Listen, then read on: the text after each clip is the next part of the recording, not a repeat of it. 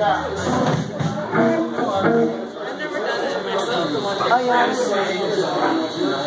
yeah. I got one around and I get really anxious. Yeah.